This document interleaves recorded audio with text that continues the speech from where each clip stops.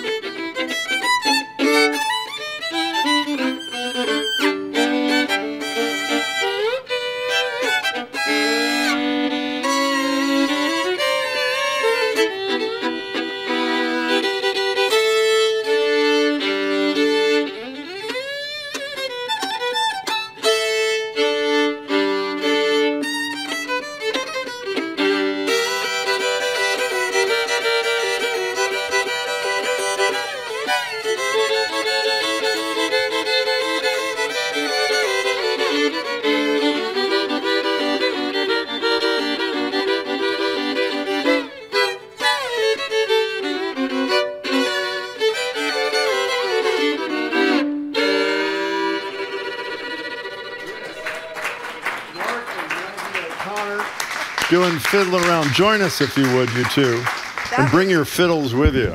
That was absolutely that fantastic. Was we were looking at you, listening to you all morning, and we're so thrilled to have you with us today. And I was reading that the, the, you just brought us the actual uh, copy of your book, Mark O'Connor, Crossing Bridges, that you wrote about your kind of autobiography of your life. But I was reading the beginning of it where you talked about back in '73, you were only what 13 years old, 12 years old? 11. 11, 11. years yeah. old, okay. And you're out in the hallway of an Oregon schoolhouse, and what happened?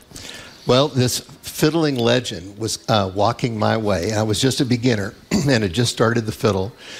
And uh, we had heard him um, just a few weeks before at the big national fiddle championships. It was my first time going there. Uh, they hold it in Weiser, Idaho. And uh, I grew up on the north end of Seattle, Washington.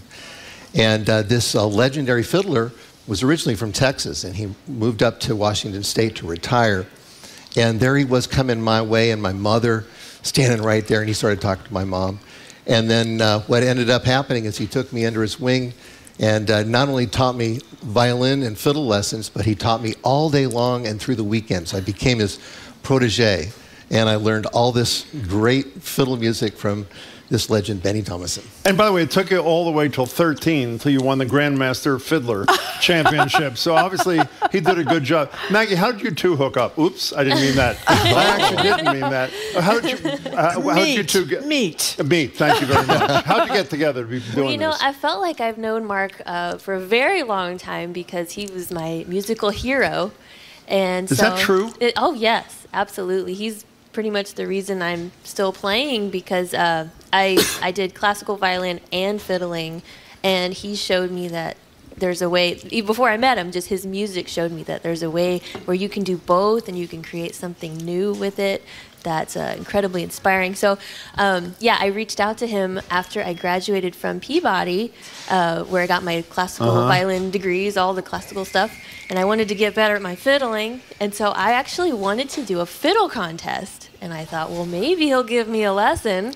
Uh, so I can get ready for a fiddle contest. I even got an official grant. You know, it was small, but it, I got a grant from And you got him, too. to get a lesson, and I got.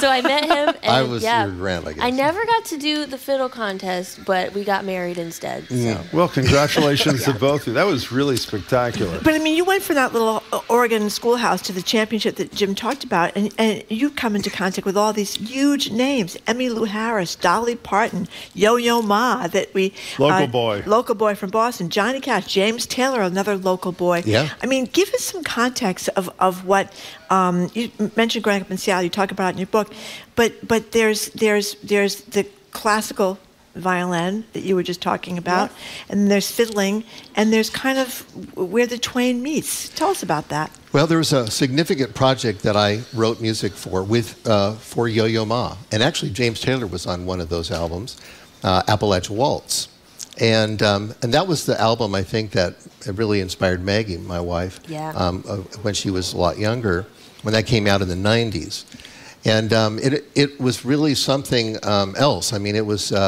Uh, bringing the, the fiddling, American fiddling musical language into a classical music setting where Yo-Yo Ma took his cello and we met, you know, halfway in between and we, we created this new American classical music that um, really became one of the, the biggest projects I've ever, I've ever composed for. You know, Maggie, one of the things Margie and I were talking before you got here and uh, uh, talking about the fiddle, and I think the conventional wisdom that I subscribe to is the fiddle was not sort of a Northeast kind of thing.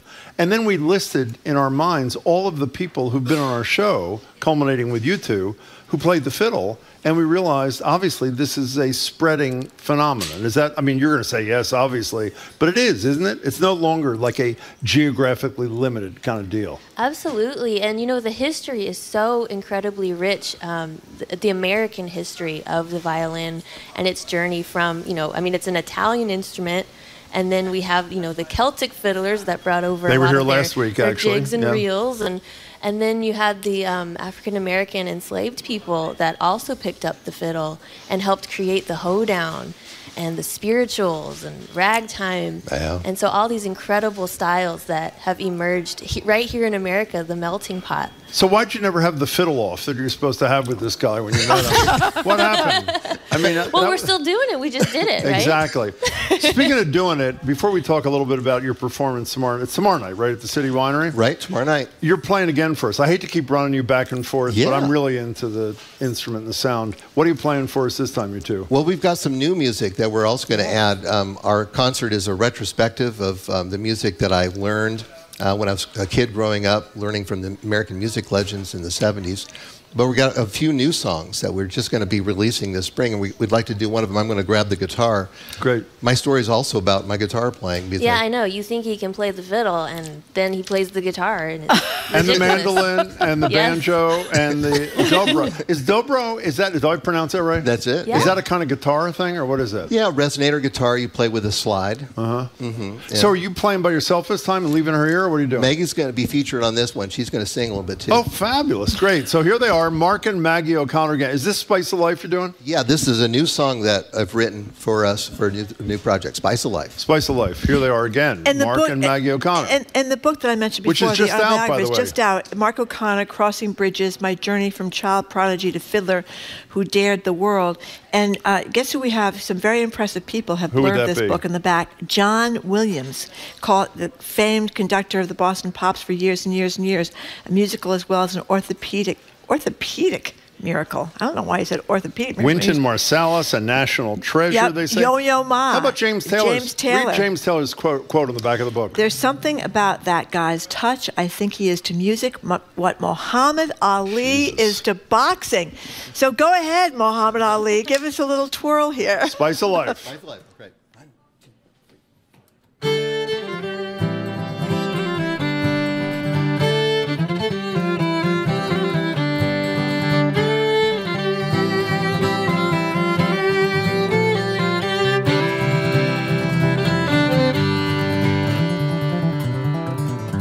It's a walk in the woods with old Mother Nature. The sound of the breeze blowing through the tall trees. The creek down below, singing songs I remember from childhood days with my mama and me. It's the gait of my horse as I sway in the saddle.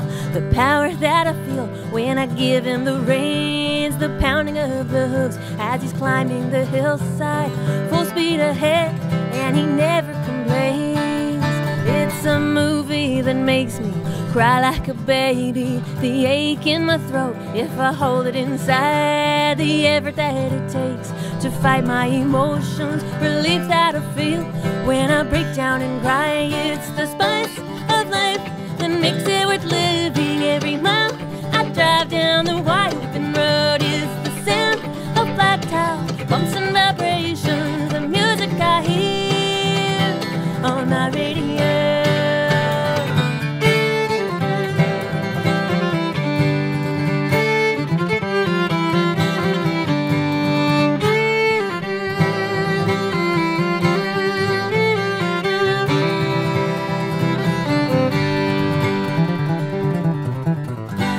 The twist of the pegs, turning them to perfection. The push of the bow in a gentle straight line. The student is discovering he's hearing that rhythm. How it all feels when he gets it right. It's the trophies that he won for being a winner. His medals and his photos hanging high on the wall. He cannot remember the dates or how many. Just something he did. It was nothing at all. It's the life that makes it worth living. Every mile I drive down the wide open road is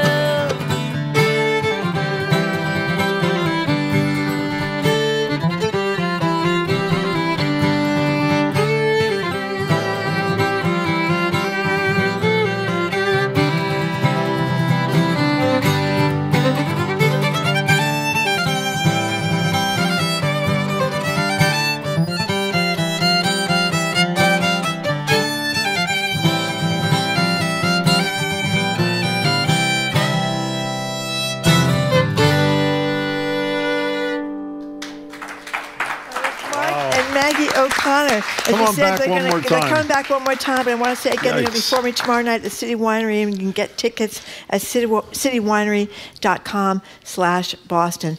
You know, Maggie, uh, Mark told us, you know, he, he grew up in Seattle, and we heard about the hallway in the school, and we also read where you had kind of a tough childhood, a little bullying going on. You had to wait a long time for your parents to get you um, a, a, an instrument. You started the violin at seven, but how did you get? I mean, obviously you can sing as well. So how did this happen for you? Mom and dad help you out? Are they Yeah. musicians or what? Well, I was basically immediately in a family band. So, yeah? I, yes. Um, so that was not a choice, but I got to choose what instrument I would play. So, uh, Why'd you pick that instrument? So we had. Um, Because you wanted to challenge Mark? Is that what it was? I don't Well, know who know- this guy is yet, but I know I want to challenge him. What's funny is there is a connection to Mark because um, so my dad was in a band in Florida. We moved to Georgia and he ha- didn't have his band anymore. So there was a fiddle player in the band, Mm-hmm. a really great family friend, and I wanted to be like her. And it's funny because we're, we're still great friends, and she told me she was trying to be like Mark. So, There when you you said family band, though, what do you mean? Your mother and father and your siblings were in a band together? so it was my dad and my brother and me. oh, wow. Yeah, and my mom was like she put helped drive us all to lessons and, and all that. And you also talk about the O'Connor method of violin uh, teaching. Yes. What's that? I've heard of the what's the Suzuki method or something like that. What's That's the right. O'Connor method? Well, this is uh, this is to um, kind of uh, maybe replace the Suzuki method using American music. Um, there was something that I thought was really missing in violin education, especially young kids playing, and it was the creativity part of it that was completely missing. And I talk a lot about that in my memoir about the seeds of creativity were planted in my little young life. I mean, even though I was growing up in a dysfunctional family, alcoholic father, my mother dying of cancer, um, it was the music that really saved me, that uh, actually uh, provided a pathway, an escape out of my, you know, rough childhood, being bullied at school, for instance. Um, so years later, um, I decided to author a method so kids can learn how to play the violin, but using American music, the rich cultural diversity and racial diversity of our music, including African American music, which is so important and, and should be taught in schools, um, if, wherever violin is being taught, I feel. Um, the music from the different eras, you know, 400 years of American string playing uh, through fiddling and violin playing. I call it the American violin. Well, you know, uh, having had a few people around my house trying to learn the violin can be very painful to listen to somebody learning the violin. It's not like the piano where you could sit down, you play a note, the note, unless the piano's out of tune, or even the guitar was maybe a little bit easier. But the violin, you got to make the sound yourself. Well, you know what's been great too? We put on string camps with his method, and the repertoire is so beautiful that so many parents will come up to me and say, "I actually enjoy listening That's good. to my my child practice. I love the songs. I don't get sick of them." By the Yeah. way, the memoir that Mark is talking about is called Crossing Bridges My Journey from Child Prodigy to Fiddler Who Dared the World. So you've played like every kind of venue. How many libraries have you played before, Mark? This is amazing. Is We this were- an This is amazing so cool. place? Yeah. We love this.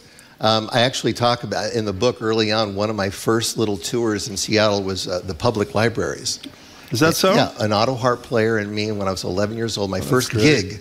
So this was like returning, like back to the old days for me. Well, you're going to play one more selection. Before you do, Maggie, what, what are you doing tomorrow night at City Winery? If people come to see you, what do they get? We're gonna get a little bit of everything. I mean, there's so many styles you can play on this instrument. So I think there's even some Cajun fiddling, Bluegrass. um, and believe it or not, I'm gonna play the spoons. You are? Spoons. Yeah.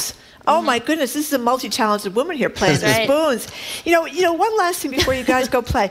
Any any good stories about any of the that you can share with us from your book? Any good anecdotes about any of the people that people know?